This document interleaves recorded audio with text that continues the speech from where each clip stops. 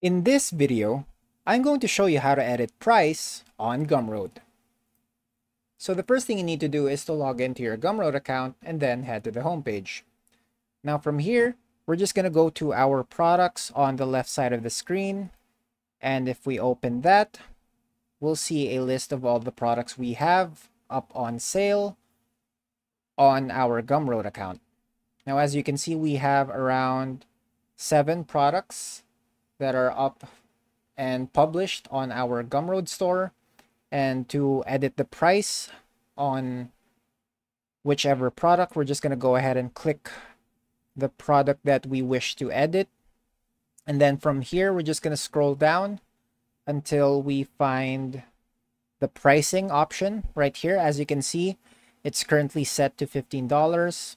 So let's say we're going to change this to maybe $30 or we can also toggle on the allow customers to pay what they want option which here will set the amount to uh, a minimum of $30 so this means that they can only pay $30 and above and they can't go below $30 so if we have a suggested amount let's say $50 then that will be the suggested amount but they can pay for around $30 if they wish.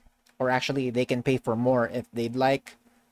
Say, for example, they're an avid supporter of your community or your Gumroad store, then uh, as a long time or passionate uh, subscriber or fan, then of course they can maybe donate a few dollars and then pay what they want on this product. Now, once you're satisfied with the changes on the pricing, you can just go ahead and click Save Changes and then it should apply to your product page. So we're just going to check real quick by clicking on Preview so that we can see it live on the store. Here you can see that you can name a fair price.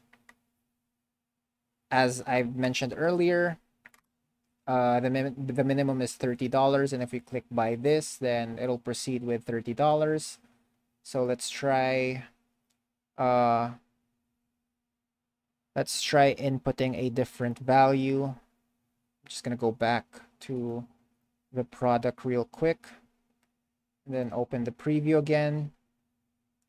Now here let's try the $60 if we go ahead and click buy this then we can see that the amount is valid for $60 and they can choose to pay this amount if they want.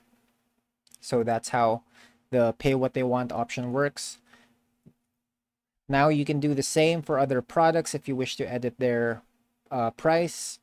So you can see here, the 30 plus dollars has reflected and then we have different amounts for different products. You can just click on the product and then choose to edit it if you'd like.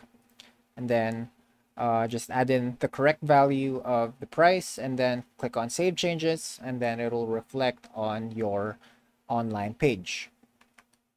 And that's about it. That's how you edit price on Gumroad. If you have any questions, please let me know down in the comments below, and I'll do my best to help you out.